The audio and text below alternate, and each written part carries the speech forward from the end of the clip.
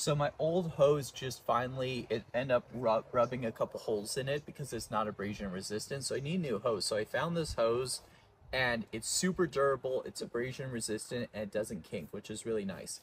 This is a 25 foot hose and it also functions really well down to 32 degrees and up to 122 degrees. So it's great for cooler temperatures or high temperatures.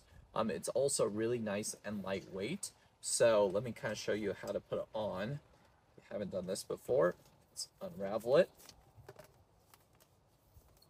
So on this hose, what's unique about this is this whole plastic piece is one solid piece that also turns the threaded part, which is nice. So on the old hose, I had one of these and it actually wore through the side of it. And so having something like this actually is a huge help. Let's Screw it onto our spout. Just gotta up. Makes it super easy to screw on because it's this whole handle here. And then pull it out and show you.